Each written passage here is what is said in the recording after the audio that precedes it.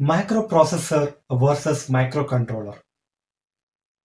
Uh, what is the difference between a microprocessor and a microcontroller? Microprocessor generally used for general purpose applications. Then what about a microcontroller? My, microcontroller is used for specific applications like our TV remote or TV or uh, washing machine, oven, such kind of specific applications.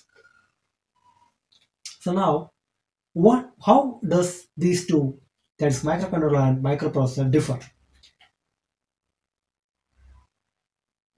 This is a microprocessor based. I'll try to draw a block diagram of microprocessor. How the systems are different. The microprocessor, you should have this is the microprocessor processor, and it should have a CPU for processing it. And it won't be having any other peripherals. There won't be uh, what what what will be this? This will have a two bus. That's one will take it as the data bus. This let be the data bus, and the other one is the address bus. That is all a microprocessor will be having just a CPU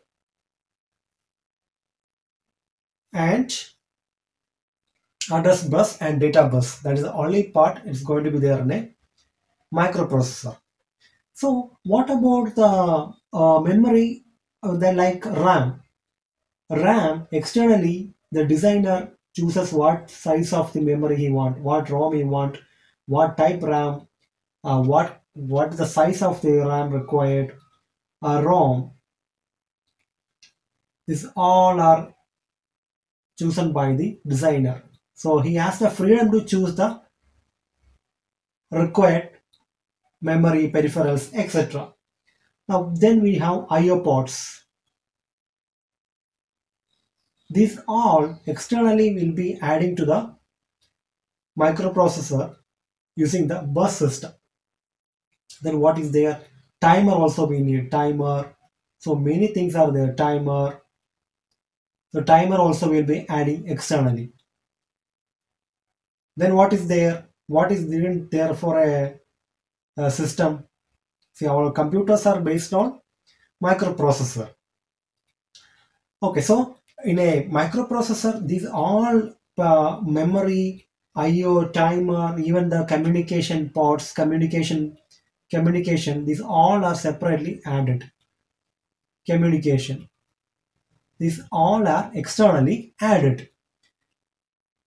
So we can have whatever the what kind of communication we need whether we need a, a serial or a usb or i square c whatever the communi or can communication. We can choose whatever the communication we want. This is how a uh, microprocessor based design.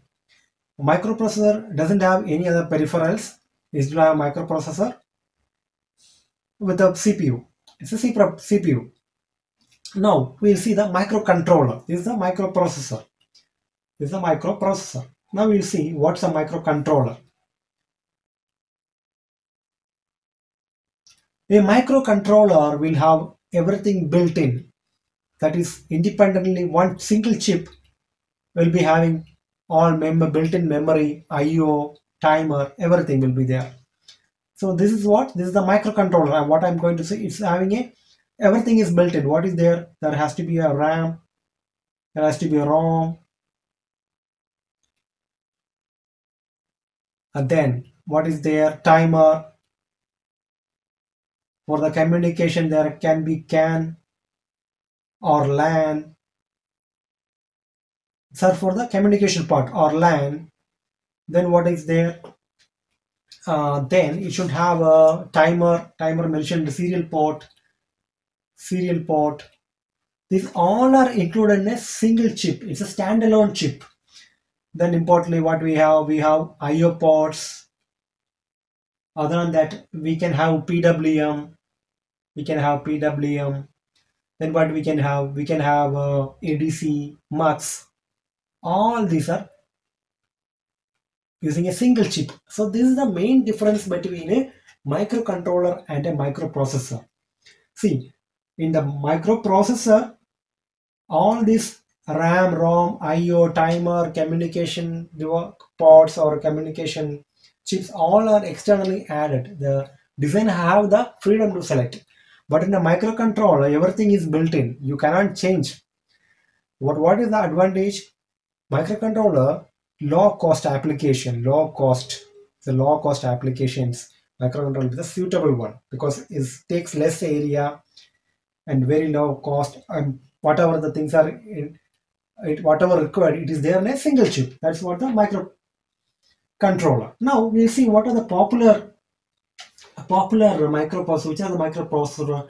8085 was one of the pro 8-bit microprocessor, 8-bit, 8-bit processor. Then we had uh, 80286, 80286. It's a 16-bit, 16-bit microprocessor and we had a 80486 486 this is a 32-bit microprocessor then we had pentium series and nowadays we know octa-core like that many are there pentium pentium then we had the pentium series so in what about the microcontroller microcontroller popular microcontroller 805 8051 is a, one of the popular microcontroller 8051 microcontroller. Was a popular microcontroller. And one more was there, uh, Zilog 68 6800. Zilog 6800.